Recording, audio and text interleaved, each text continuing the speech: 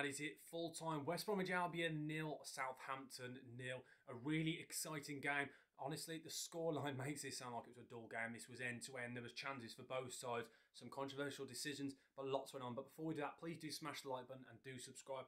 I'm going to preface this video with the fact that I am a West Bromwich Albion fan, so there may be a little hint of bias, but I will try and give you my honest thoughts. Going to this game, we all kind of, and what I'd spoke about in a previous videos, I expected Southampton to try and play this passing out from the back, this expansive football, this slow build up and uh, drawing teams in and then finding the spaces and the gaps and then allowing players like Adam Armstrong to cut in and break those lines and find those spaces with Aribo and Smallbone and Downes and they kind of went for that. It's the style of play they went for. West Brom, one of the best out of possession sides in the league, really like this uh, kind of style of play when they're playing against teams like this. They counter press and they press up high every now and then, kind of in different phases and use different triggers. And Jack Stephens, by the looks of things today, was the trigger. And West Brom had some big chances, if I'm honest. Um, I, I do think they probably should have won this game off the back of some of the chances. But then again, having said that, Southampton had some big chances as well themselves. They had a big chance at the end when Stuart had a shot and it was deflected uh, off Kyle Bartley and a brilliant save from Palmer as he dived the wrong way and then flicked it off with his boot the other way. It was a great save. But overall, I'm a little bit disappointed. I feel like West Brom should have won that game. They had some huge chances. A big penalty shot as well. I'm going to kind of discuss that as well. I personally, like, I've only seen it twice and I'll need to see it back again at another angle. But it looked like a, it's a foul for definite. And then it's the question of it, is it in the penalty area? It looked it to me. I personally think it should have been a penalty, but I do need to watch it back, and I'm going to be honest and say I've only seen it twice. Sky didn't really show it because it was a bit end to end at the time, and there was quite a few chances.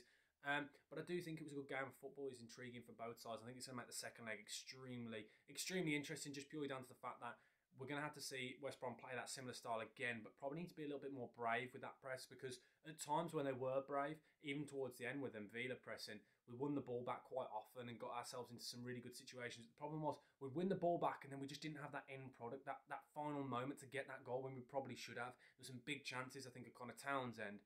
Uh, Yokuşlu had a chance. Um, Diangana had a chance. So we'll talk about Diangana. I thought Diangana was really actually quite good today. Um, he probably should have scored two goals today. Now, I know Troy Deeney at half time gave um, some analysis and gave his thoughts on one of the big chances, and it was a header.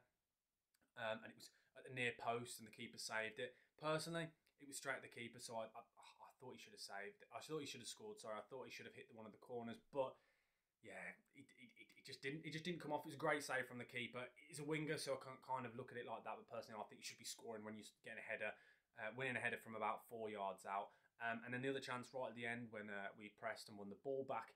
Fellows, lovely whipped ball across, and he shot it straight at the keeper. I thought Fellows was really good in this game. Probably my man of the match. Kind of created so many chances and gave uh, Manning on that left hand side a really game. I thought Kyle Walker Peters was really, really good today, especially in that first half. He kind of died off a little bit in that second half, but that first half he was causing Conor Townsend and um, Mikey Johnston some problems down that left hand, uh, down that right hand side. Was bombing on constantly, was really good. I thought Downes was really good until his yellow card. He was kind of really getting on the ball, but you kind of see that a lot of the time with centre midfielders, they can't really get on the ball and kind of do as much as they were doing before because they are a little bit worried. It was a bit of a rash challenge.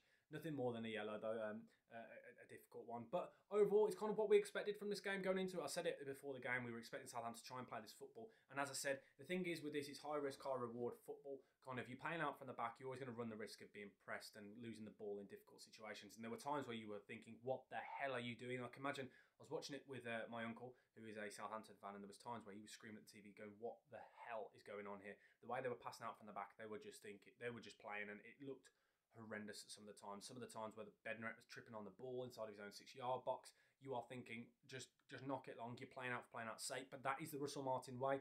It's created some problems throughout the season. It's meant they've conceded quite a few goals this year. I think back to the Bazunu times earlier on in the season. I think to the game against Norwich and games like that, where they were losing so many goals, uh, losing so so yeah, they were losing the ball so many times, and it was creating chances for goals for opposition. But overall, I thought they were okay today. It was just an intriguing game.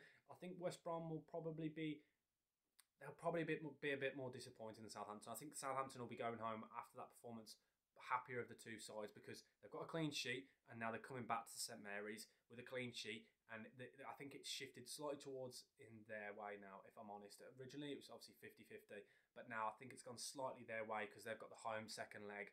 And not only that they kind of didn't really seem to get going, but that kind of just shows you that they've got that next gear, that next level to step up to. But overall, it was a really interesting game. We said it before, the two different styles of play was always going to be interesting because it's the two opposites. So it kind of it will play into each other's hands, and you saw that it kind of there was a lot of clashing. It was differing styles, and they just cancelled each other out. But overall, really good game. Let me know your thoughts on the penalty. I personally think that West Brom deserved the penalty right at the end for that foul from Ryan Fraser on Diangana. But let me know your thoughts down in the comment section below. Let me know what you think of the game, and let me know your prediction for the second leg because it kind of the, the, the, tie went exactly how I predicted, but I did say I thought West Brom would have scored from one of those chances, and I think that may be their Achilles heel, and it has been all season. We've seen with Thomas Asante, uh, we've seen it with um, Diangana throughout the season, not not not taking those big chances, and that's the problem with Asante. A lot of people do get on his back, but at the end of the day, he was a League Two striker from Salford. You know exactly what you're going to get from. He's not the most clinical, and that's the big thing for me. And he probably should have got a goal today, but that's just me personally. I think,